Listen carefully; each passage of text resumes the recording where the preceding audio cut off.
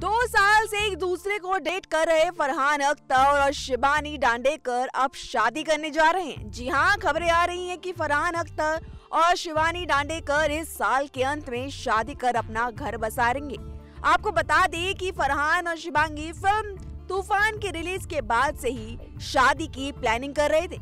लेकिन अब ये उससे पहले ऐसा करके अपने फैंस को सरप्राइज़ दे सकते हैं। हालाँकि फरहान और शिवांगी संग उनके परिवार ने शादी को लेकर कोई भी बात नहीं की लेकिन माना जा रहा है कि बॉलीवुड का ये कपल इस साल हर हाल में शादी के बंधन में बनना चाहता है वैसे आपको बता दें कि 9 जनवरी का दिन शिवांगी रांडेकर के लिए काफ़ी अहम था, क्योंकि इसी दिन फरहान अख्तर संग उनकी बहन अनुष्का भी अपना बर्थडे मनाती हैं। ऐसे में शिवांगी ने अपने इंस्टाग्राम पर फरहान के साथ फ़ोटो शेयर करके उन्हें अपना बेटर हाफ़ बताया था, जिसके बाद से ही इनकी शादी की खबरें और तेज़ी से वायरल हुई। आपको बता दें कि शिवांगी डांडेकर से पहले फरहान का नाम श्रद्धा कपूर के साथ भी खूब जुड़ा, लेकिन दोनों ने ही अपने रिश्ते पर हमेशा चुप्पी साधर की।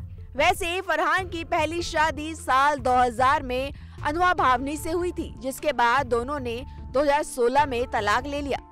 दोनों की दो बेटियाँ भी हैं लेकिन अब फरहान दोबारा शादी के बंधन में बंधने जा रहे हैं।